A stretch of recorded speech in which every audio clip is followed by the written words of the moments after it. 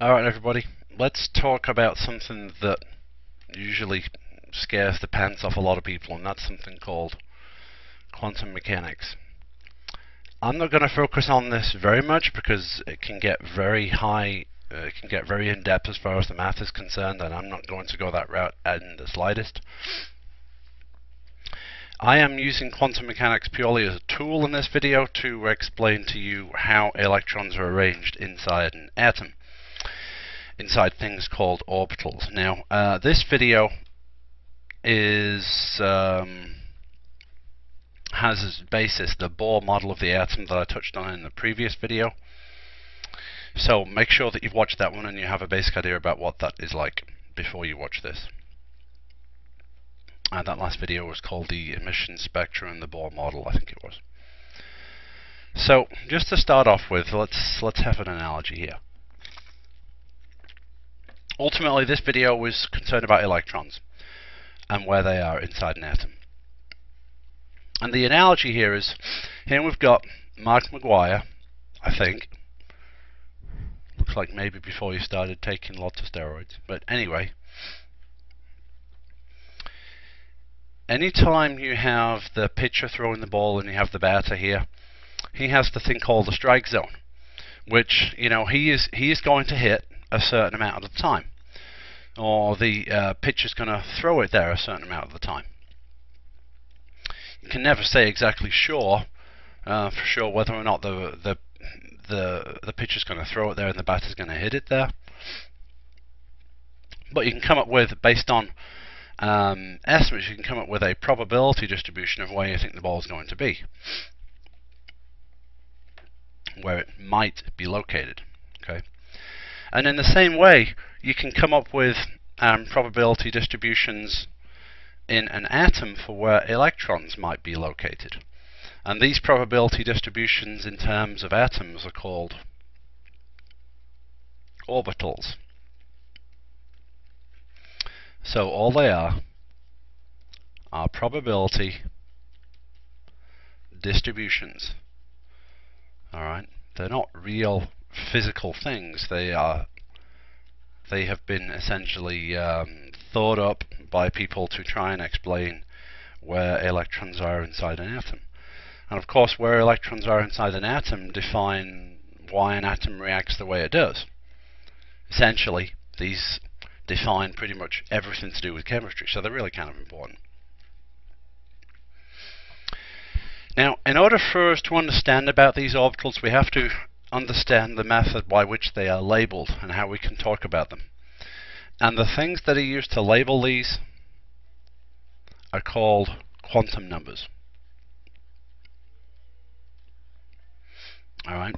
Just as you use numbers to label all sorts of things, quantum numbers are labels where electrons are located inside an atom. But not only do they talk about location, they talk about the size, the type, and the number of these orbitals present. If you can get a good understanding of these quantum numbers and what they mean, your understanding of electron configurations in the next chapter will be infinitely easier. Alright, that's really important. So, make sure you have as, go as good a grasp of this as you can get. So I'm just going to start going through a little bit about each of these quantum numbers and then we'll move on to an application of them. Alright, so the different types of quantum numbers. There's three different types that we want to be concerned with right now. They all have their own names, symbols, and what they describe.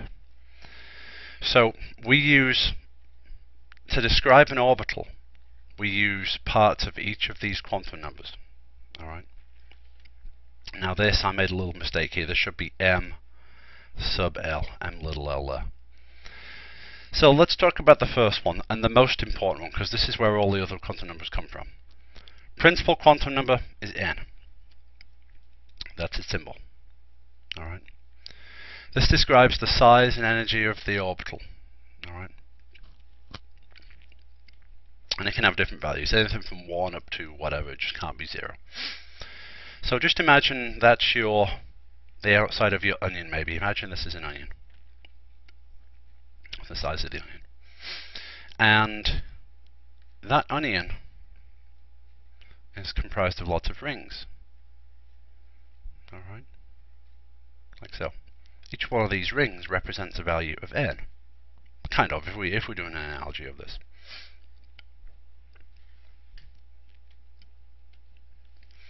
When we get to the next quantum number, it's called the angular momentum quantum number. It has the symbol L. Describes the shape of the orbital. And also has possible values as well. The values of L are dictated by the values of n. So if we had a value of n equals 3, we have several possible values of L. The lowest is 0, and the highest is n minus 1. So therefore in this case the highest would be 3 minus 1 which is 2. And if we think about it, the n describes the shape of the initial uh, onion layer. And if we then go in further here, if we were to take a microscope to this onion, we'd see that each of these layers, this, this layer here, is actually comprised of lots of sublayers. Alright, so that is kind of that blown up. And that's what this L describes. Alright, it breaks N down into smaller pieces. So this is the first level, this is the second level, this is where we get even more detail. Alright, so N, like I said, it describes the size and energy of the orbital. L describes the shape, and we'll uh, and we'll talk more about specific shapes later on. We're not going to get into a huge amount of detail about it. And then we have the the magnetic quantum number m sub L. This describes the orientation of the orbital in three dimensions. Possible values range from plus L to minus L. Alright. Now make sure you guys understand. This is um, okay, I've used Times New Roman here and uh, I probably made it a little bit difficult. That's L and that's L. That's L and that's L, just so there's no confusion here. So possible values of m sub L are from plus L to minus L.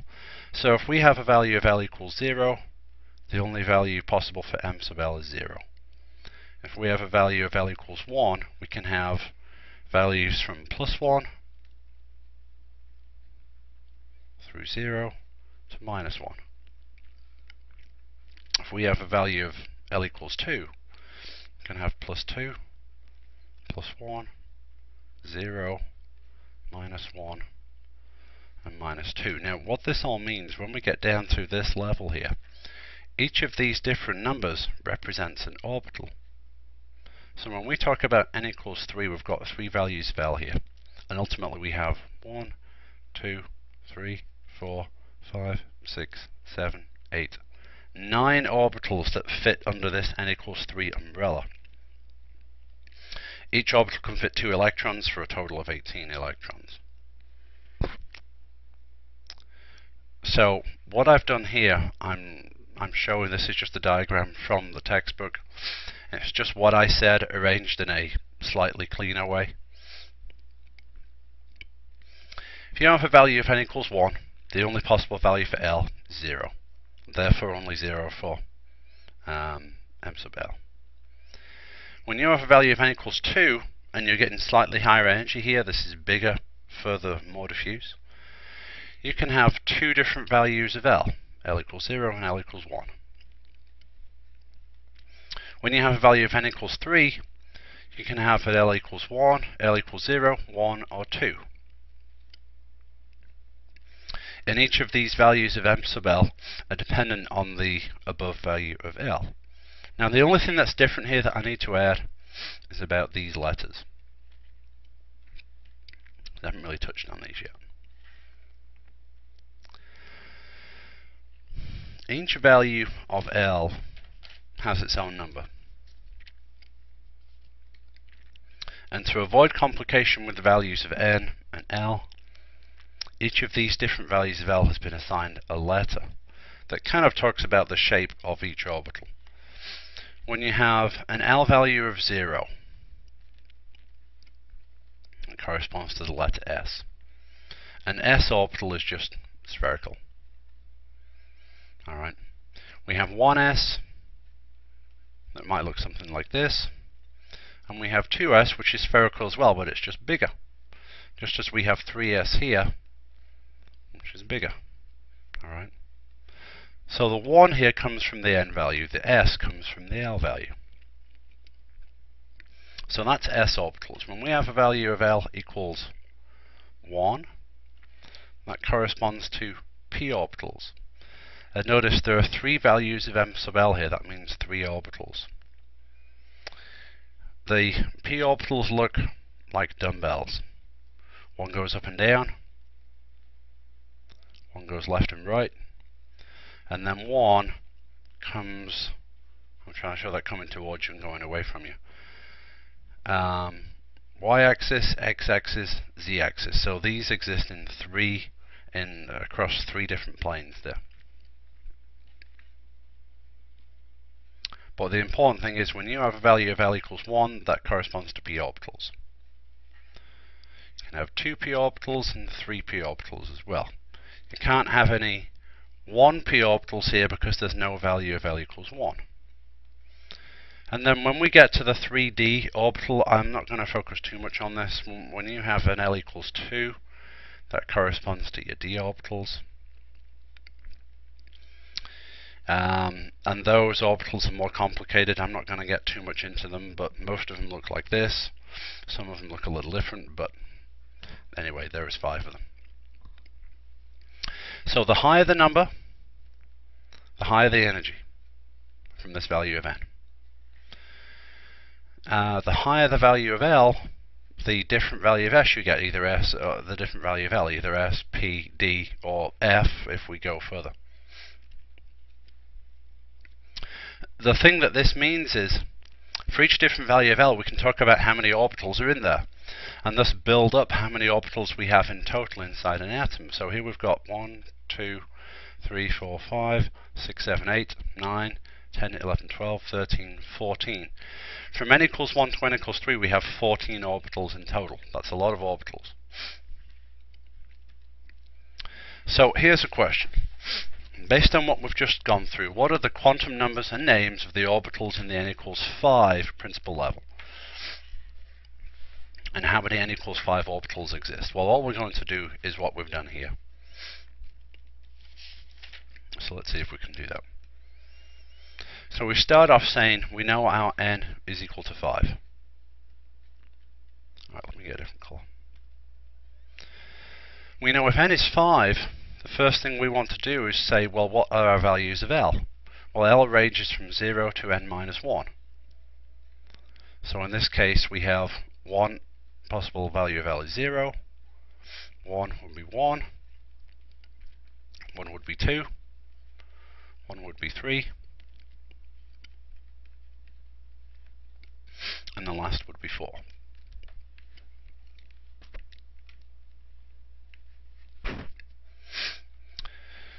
So now we've done this, we should look at our values of m sub l. When we have a value of l equals 0, the only possible value of m sub l is also 0. When we have a value of l equals 1, we can say because m sub l goes from plus l to minus l, we can say we have plus 1, 0, minus 1. When we go to ml equals uh, l equals 2, our values for ml become like so. Notice as the value of L increases, the value, the number of possible mLs also increases. So I'm just going to keep on writing these out.